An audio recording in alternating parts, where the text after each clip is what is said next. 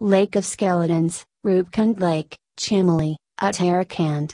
At a height of 16,500 feet, in the middle of the most uninhabitable part of the Himalayas lies the secluded Roopkund Lake, covered in snow and surrounded by rock-strewn glaciers.